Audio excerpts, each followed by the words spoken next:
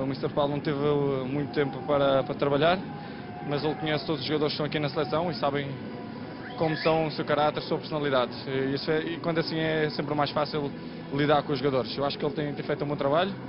eh, e espero que tenha sorte, tanto ele como nós jogadores, porque o espírito é fantástico e queremos continuar assim. conseguiu incutir aquilo que queria em nós. Nós fizemos eh, tudo o que podíamos para, para ganhar os jogos. Acho que conseguimos duas boas exibições nos dois jogos e saímos aqui com duas vitórias, que isso era o mais importante.